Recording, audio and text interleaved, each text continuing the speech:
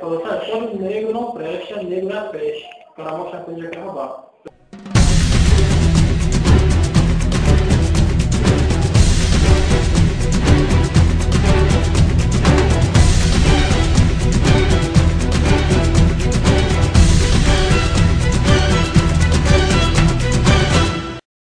Não. não.